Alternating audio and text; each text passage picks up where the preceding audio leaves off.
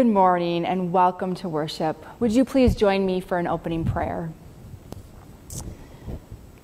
Oh, great God of the universe and Lord of our lives, thank you that your ways and your thoughts and your plans are so much bigger than what we can see or understand or know in this moment. We gather today as your people to wholeheartedly remember and offer our trust and our praise and our hope that is found in you. Send your spirit to be in our words, in our songs, in our prayers. Send your spirit to open our hearts and our ears and our minds so that we might find and know that message that you have for each of us today so that we can go out in faith living as people who are a part of this wonderful plan and painting that you have already created. Oh God, we love you.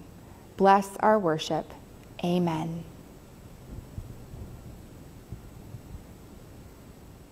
I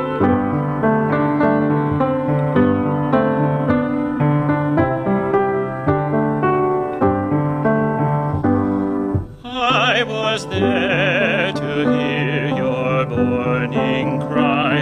I'll be there when you are old. I rejoiced the day you were baptized to see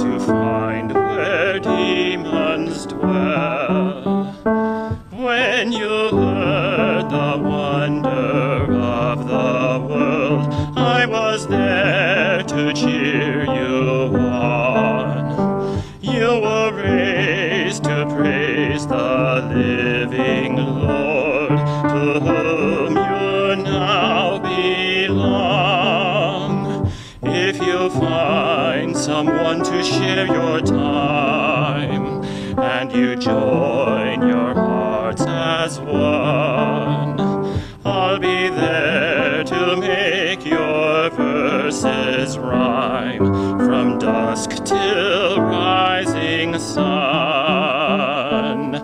In the middle ages of your life, not too old, no longer young.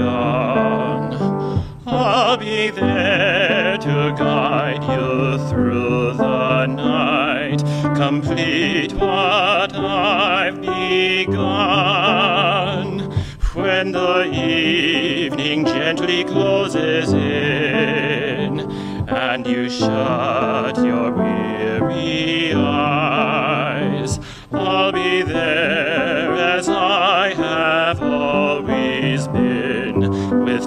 just one more surprise.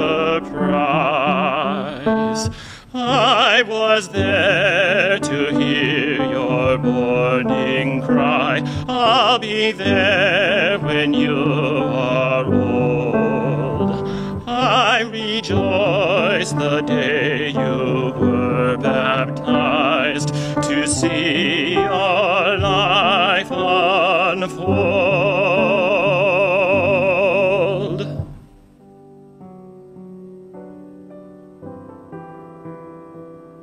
The boy grew up and stopped nursing. On the day he stopped nursing, Abraham prepared a huge banquet. Sarah saw Hagar's son laughing, the one Hagar the Egyptian had borne to Abraham. So she said to Abraham, Send this servant away with her son. The servant's son won't share the inheritance with my son Isaac. This upset Abraham terribly because the boy was his son. God said to Abraham, Don't be upset about the boy and your servant. Do everything Sarah tells you to do because your descendants will be traced through Isaac. But I will make of your servant son a great nation too, because he is also your descendant. Abraham got up early in the morning, took some bread and a flask of water, and gave it to Hagar. He put the boy in her shoulder sling, and sent her away. She left and wandered through the desert near Beersheba. Finally, the water in the flask ran out, and she put the boy down under one of the desert shrubs. She walked away from him about as far as a bow shot and sat down, telling herself, I can't bear to see the boy die. She sat at a distance, cried out in grief, and wept. God heard the boy's cries, and God's messenger called Hagar to Hagar from heaven and said to her, Hagar, what's wrong? Don't be afraid. God has heard the boy's cries over there. Get up, pick up the boy, and take him by the hand. I will make of him a great nation. Then God opened her eyes, and she saw a well. She went over, filled the water flask, and gave the boy a drink. God remained with the boy. He grew up, lived in the desert, and became an expert archer. He lived in the Paran desert, and his mother found him an Egyptian wife.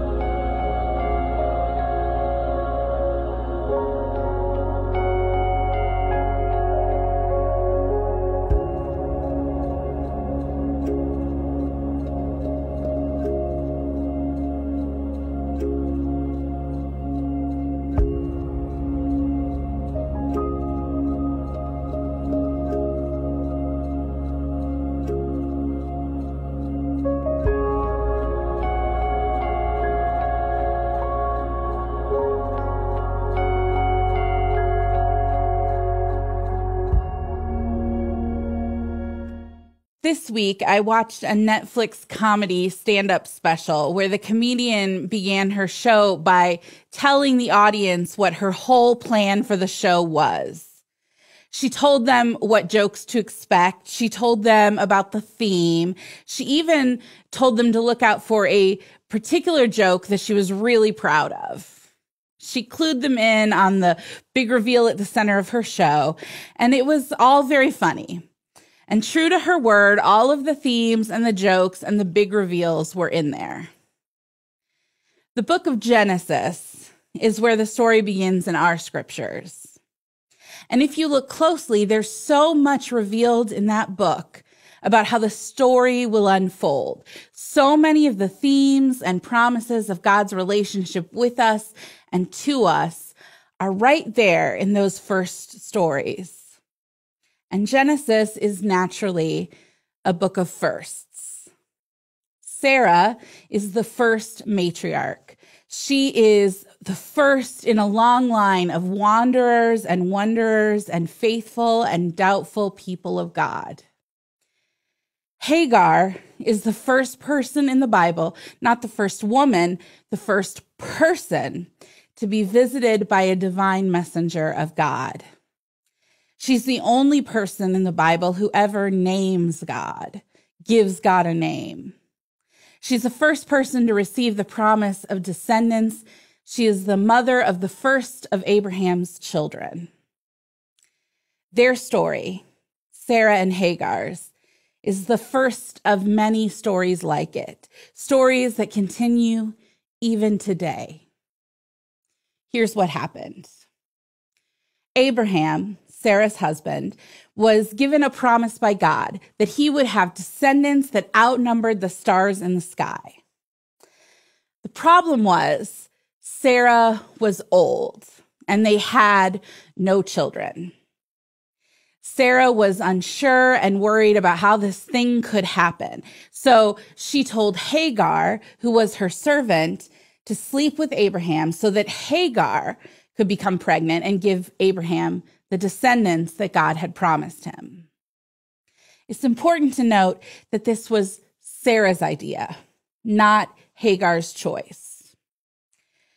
So all of this goes down according to Sarah's plan, but when Hagar becomes pregnant, Sarah begins to mistreat her. It gets so bad that Hagar runs away. So Hagar, alone and pregnant and in the desert, is sitting by a spring of water when a divine messenger comes to her and tells her to go back to Sarah because God intends to make her son, Hagar's son, the father of a great people. Then Hagar names God El Roi, which means God sees me. So Hagar returns and gives birth to a son who's named Ishmael, which is the name the divine messenger gives to Hagar for her son while she's in the desert. And after Hagar's return, visitors announce Sarah's impending pregnancy, which pretty much leads us to the scripture for today. So Sarah has given birth to Isaac, and he's beginning to grow. And one day, Sarah notices Ishmael doing something with Isaac. There's been much debate over what that something is. Perhaps he's playing with him. Perhaps he's teasing him. Perhaps he's imitating him. Whatever it was, it enrages Sarah to the point that she demands that Hagar and Ishmael be sent out into the wilderness. That boy will not inherit along with my son, is what she says. See, Ishmael was the firstborn son. And as the firstborn son, he was entitled to a double portion of the inheritance. He would be the one with pride of place among all of the sons of Abraham. Of all these descendants that God had promised, Ishmael would be the first. As Sarah saw it, if Ishmael was around, there was no place for Isaac. It was one or the other my son or your son, me or you. It's one of the recurring themes we humans just can't seem to figure out how to let go of. The idea that life is a zero sum game. In order for me to have something, you cannot have that thing. Whatever you have is something that has been taken away from me. That was the world as Sarah saw it. And operating in that world, it makes sense that she did what she did. She was protecting her son, providing him with what he needed. If the only choice is I win, you lose, or you win, I lose, then of course she would do what she did. What she didn't know, what she couldn't see, what she couldn't imagine was that God had something else in mind.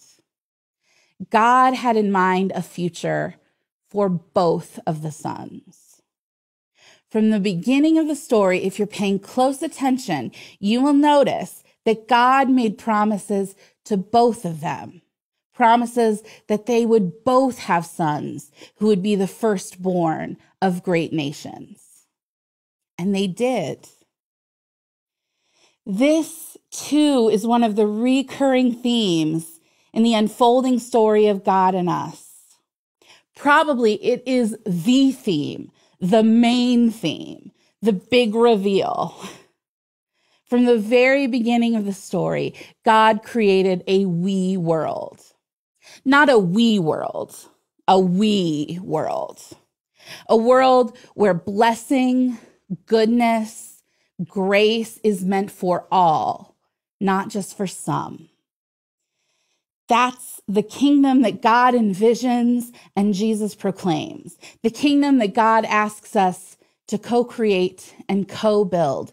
But it only works when it works for all of us.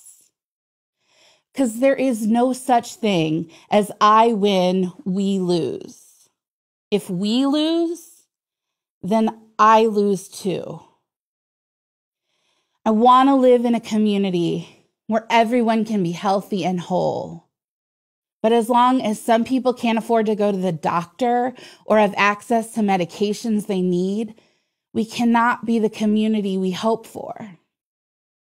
We want to live in a world where people aren't afraid, where violence doesn't happen, but as long as abuse happens in secret or violence but to others is excused or pushed under the rug, we do not live in that world.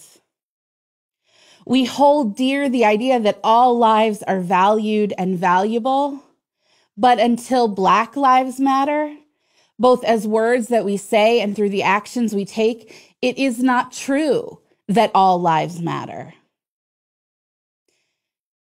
This moment we're living in now, this is a crucial moment in our lives together and in our story as people of God. Too long, we've been living with an inheritance that depended on others being cast out into the wilderness too long we've been subscribe, subscribing to this I win, we lose mentality that God has rejected over and over and over and over. And I know that this, this was not completely a mess of our own making. Sarah would say it was not a mess of her own making either. She didn't set up the system that she was living in, the system where wealth is measured by sons and some get everything and some are sent to the wilderness. But that's not a good enough answer. It wasn't for Sarah, and it isn't for us. Not when God has something else in mind for us. Not when we're given the chance to make a different decision, to choose a different path, to dream a different dream, to do better. We've been talking a lot these days about listening and learning. And that is so important right now to listen to the voices that have been too long in the wilderness, to learn about how it got to be that way. But here and now, we can also start the work of acting out of a different mentality, of making different choices, of imagining different things, of trying to build with God a different future. And not only a different future, a different present as you do, as we do, I want to offer you these words from a Black woman who is a poet and artist, Morgan Harper Nichols. Engage in the long, faithful work. Surrender the need of striving to be the best or always right, and focus instead on leaning into light that reveals all things all that is good and all that stands to be corrected and redirected. And as you lean into light, be gentle with the word darkness.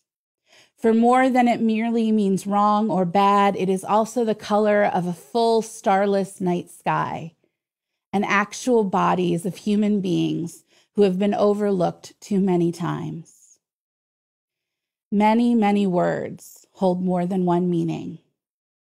Language on light and dark may have its place, and this is also true. This very language has been used to say, You are a threat. I am not. I am worth more than you. It takes kindness to understand this. For even though kindness is a beautiful word, it does not mean that nothing gets disrupted. Sometimes a way of thinking must be interrupted in order for kindness to truly thrive. For as sure as kindness leans into what is good, it also speaks about what isn't right. It is compassionate and gentle when long histories are pulled from mourning into mourning. Engage in the long, faithful work of awakening with your heart and mind open to the possibility that things are more complex than they once seemed. And as hard as it is to hold all of this, you are still free to dream. You do not have to be who you used to be. You do not have to think the way that you used to think. You are free to take hopeful, thoughtful action in pursuit of better things. So here's to new beginnings, knowing it is impossible to ignore that long history, opening up to the mystery that grace still finds you here. And grace is unmerited favor, but it might not always look the way you want it to. It will invite you out in the open, and it will also reveal what has been broken. You might have to unlearn the way you thought things would be. You might find that being undone is the best way to move on, humbly, mindfully, holy. For how liberating it is to pursue wholeness over perfection, finding that grace is more than a beautiful word, but a daily act of being undone, an awakening, a direction. Thanks be to God. Amen. It is the day in which we get to celebrate all the important men in our lives dads and grandpas and uncles and teachers and mentors and pastors and coaches and neighbors, all the men in our lives who have made an impact on us. And so we want to say Happy Father's Day to you. And as a special way to celebrate you, we bring to you this uh, photo collage that was put together by Pastor Angie. Happy Father's Day. Please enjoy.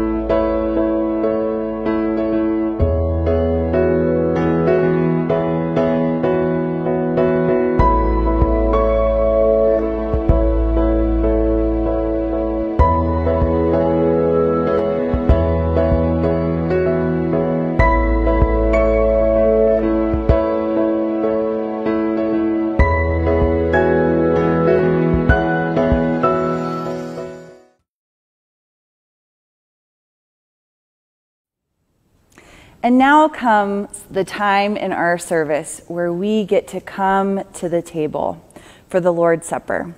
You know, one of my favorite things about being Methodist is that all people are welcome to the table of Christ.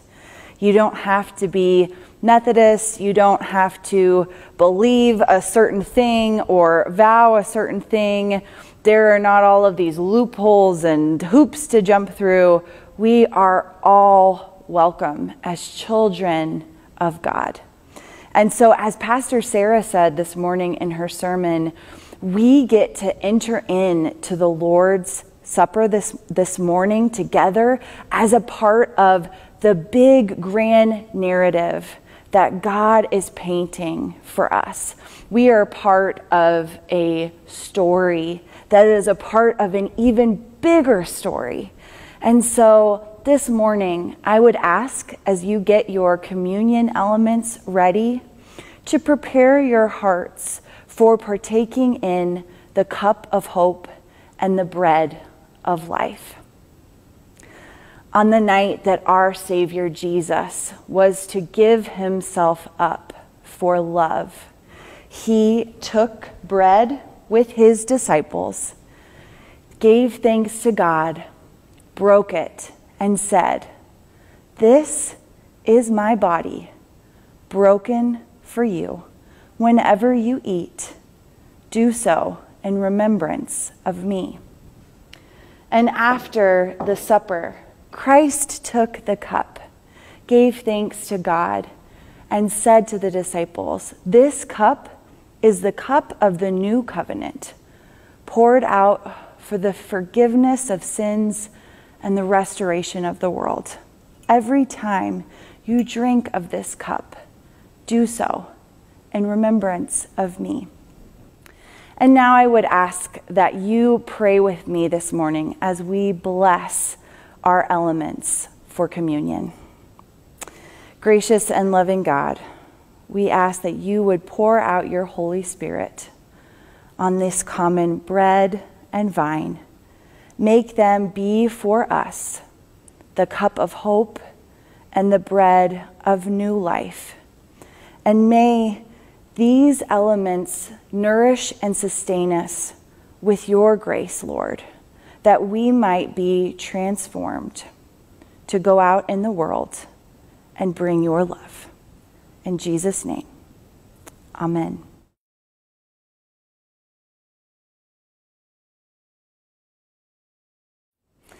And now we have a special treat where we are going to hear the Lord's Prayer sung this morning.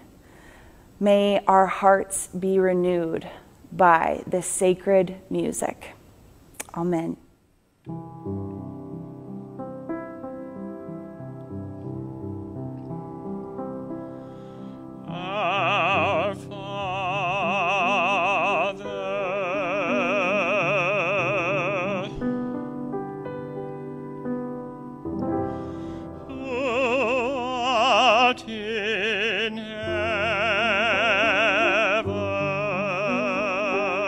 oh